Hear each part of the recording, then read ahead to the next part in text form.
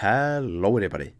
Hope you're doing great and are ready to hear the story of Skaftareldar, the most destructive and influential eruption in Iceland's history.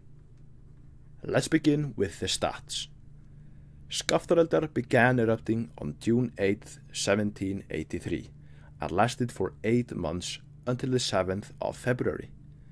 It first began erupting in Grímsvötn in Vatnajökull, but the first fissures opened here some 65 kilometers southeast of the Grímsvötn volcano.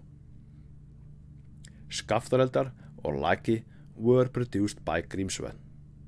It's also possible that there was a lot of continental drift at the time which allowed magma to rise straight from the mantle and either produce the eruption or helped Grímsvötn produce it. During these eight harsh months, 10 fissures and around 140 craters opened and spanned 27 kilometers. The eruption can be split into 10 episodes. Every episode, a new fissure opened to the northeast of the previous one. These fissures and craters were no joke. When the fissures were opening, they began with explosive activity for one to three days and were producing up to 8,000 cubic meters of lava per second. Then, longer duration, less explosive, lava producing phases followed, often lasting several weeks. The lava flow during those phases averaged at around 1,000 to 3,000 cubic meters per second. That's just crazy.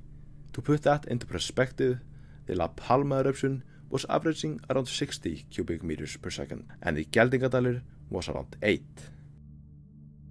In the end, the Skaftareldar eruption spread its lava over 600 square kilometers of land and pumped out 14.7 cubic kilometers of lava.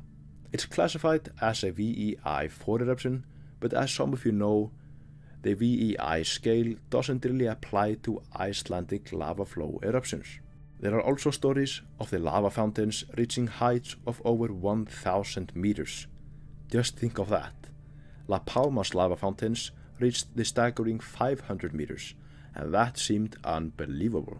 So, as you hear, the Skaftareldar eruption was a giant, and with all that power, it must have had an impact.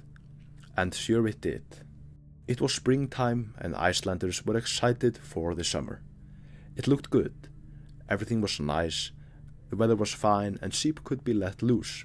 In late May, people started feeling earthquakes in the southern and southeastern region. The earthquakes continued and increased in intensity until on the 8th of June, the seemingly normal summer turned into a nightmare. That same day, 1,000 meter high lava fountains were seen all the way from towns down south, and it started raining acid. Skaftareldar had arrived. On the 11th of June, lava came rushing down Skaftarkljúfur and the river Skaftá dried up. Ash and tephra emissions came in four phases during the summer, which was the cause of new episodes starting. In the end of July, everything seemed to be calming down. Lava flow slowed down, which had by now destroyed 17 villages. But unfortunately, it was just the calm before the storm. People didn't have to wait long before another huge plume of ash stepped up from the highlands.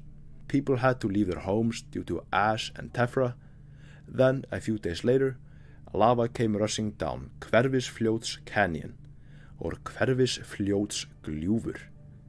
This continued until the eruption ended in February.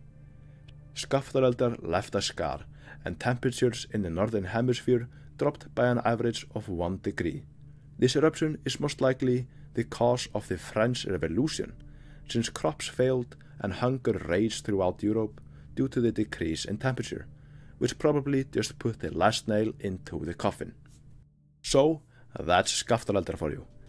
If you hadn't heard this story before, now you have.